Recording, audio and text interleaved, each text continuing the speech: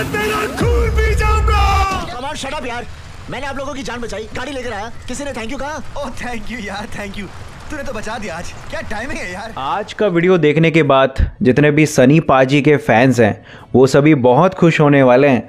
अभी कल मैंने सफ़र मूवी के ऊपर एक वीडियो बनाया। उसके पहले मैंने बनाया गदर थ्री के ऊपर वीडियो एंड आज का वीडियो भी उतना ही बाप लेवल का होने वाला है, जितना जो पिछला दो वीडियो था।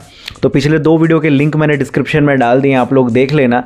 एंड एक और बात दोस्तों, सनी पाजी जो धमाका किए हैं 2023 में 2025 में भी धमाका करने वाले हैं। एंड उसी से जुड़ी एक बहुत ही इंपॉर्टेंट अपडेट मैं आप सभी के लिए लेकर आ गया हूँ। तो जितने भी बॉबी देवल सनी देवल अक्षय कुमार के फैंस हो यार चैनल को सब्सक्राइब कर लो एंड बेल नोटिफिकेशन आइकन को दबा दो। एंड भाई वीडियो को ज़रूर लाइक कर देना, क्योंकि भाई बहुत मेहनत लगती है ऐसे वीडियोज़ ऐसे अपडेट्स लाने के लिए। तो चलिए वीडियो को शुरू करते हैं। दोस्तों, आज का वीडियो जो है this is about Housefull five and Housefull five के लिए अप्रोच किया गया है सनी देओल को।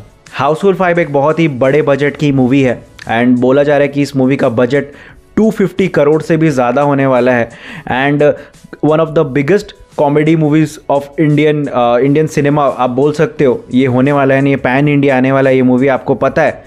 तो जो हाउसफुल फाइव है उसमें एक रोल ऑफ़र किया गया है सनी देओल को। एंड सनी देओल जो है अक्षय कुमार से बात कर रहे हैं। अक्षय कुमार ने अप्रोच किया है। आपको पता है जो हाउसफुल फ्रेंचाइजी का नेक्स्ट पार्ट है हाउसफुल फाइव उसको डायरेक्ट करने वाले हैं अहमद खान।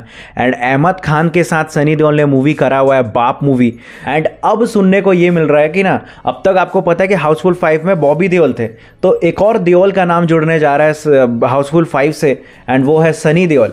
एंड सनी देओल होने वाले हाउसफुल फाइव का पार्ट एंड ये बातचीत चल रही है. एंड मैं बहुत ज़्यादा खुश हूँ। एंड जितने सनी देओल के फैंस हो यार सनी देओल वापस से कॉमेडी में कम करने वाले हैं। कुछ लोग बोलते हैं सनी देओल को कॉमेडी करनी, कैसे करेंगे कॉमेडी कॉमेडी करनी नहीं आएगी। तो भाई मैं आपको याद दिला दूँ। सबको याद है ना यमला पगला दीवाना फ्रेंचाइज सनी देओल का भी एक कॉमेडी तगड़ा फ्रेंचाइज है।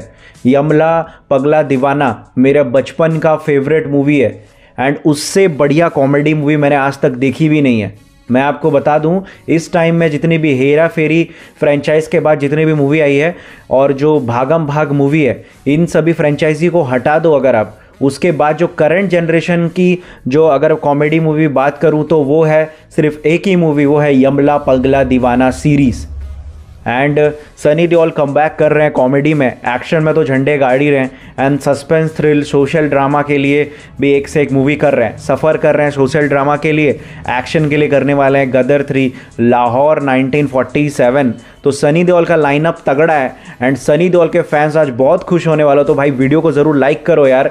एंड एक और चीज़ आपको बता दूँ कि सनी देओल मेरे ख्याल से वो एक इस मूवी में भले ही कॉमेडी ना करे। कॉमेडी मतलब सनी देओल कुछ फ़नी कॉमेडी अगर ना करे मतलब तो सनी देओल इसमें सिचुएशनल कॉमेडी कर सकते हैं। सिचुएशनल कॉमेडी जो वो यमला पगला दीवाना में किए हैं। एंड जो मिथुन ने करा हुआ था हाउसफुल टू के लिए। तो वैसा ही हमें कुछ देखने को मिल सकता है इस मूवी में। And I am very very very excited to see Sunny Deol, Bobby Deol and Akshay Kumar वो दोनों तीनों को मैं एक पिक्चर देखने एक पिक्चर में देखने के लिए बहुत ज़्यादा खुश हूँ। एंड मैं आपको बता रहा हूँ नाइन्टीज़ के जितने भी एक्टर हैं, सनी देओल, नाना पाटेकर, अनिल कपूर, अक्षय कुमार, बॉबी देओल, ये सभी लोग आ रहे हैं एक साथ। आपको थिएटर्स में वापस लाने के लिए एंड हंसाने के लिए एंड बॉक्स ऑफ़िस में धूम मचाने के लिए। दोस्तों, आज का वीडियो कैसा लगा आप कमेंट में बताओ। और आप सनी देओल और अक्षय कुमार को एक साथ देखकर कैसा फील करोगे आप थिएटर्स में बड़े पर्दे में, आप कमेंट्स में ज़रूर बताना। एंड आप ये भी ज़रूर बताना कि भाई, हर कोई सनी देओल के पीछे क्यों पागल हो रहा है? यार, सनी देओल के पीछे क्यों पागल हो रहा है? कॉमेडी इंडस्ट्री जो है, वो उतनी बड़ी बड़ी इंडस्ट्री नहीं है कि कॉमेडी मूवी आपको हज़ार, दो हज़ार कलेक्शन करा के दे देंगी। ऐसा नहीं है। बट सनी देओल अब जुड़ गए हैं इसमें से। तो सनी देओल तो ऑलरेडी भाई ट्रेंड पे चल रहे हैं। लोग पागल हो रहे हैं सनी देओल के लिए। तो सनी देओल को इन लोगों ने बहुत ही मतलब सही पिक्चर में ले लिया एंड मेरे को जहाँ तक लग रहा है कि इस मूवी का कलेक्शन 800 से 900 करोड़ करा के दे देंगे सनी देओल। क्योंकि सनी देओल को आपने अगर अपने मूवी में लिया है तो फिर आप कलेक्शन का टेंशन मत कीजिए। क्योंकि सनी देओल के फैंस हैं, वो कट्टर फैंस हैं। एंड वो थिएटर में जाएँगे। एंड आपकी जो हाउसफुल फाइव है, अक्षय कुमार जी, आपकी हिट होने वाली है। आप लिख कर ले लो।